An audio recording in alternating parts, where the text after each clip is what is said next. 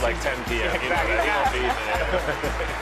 I mean, Federer had held 31 straight games against Rafa coming into this.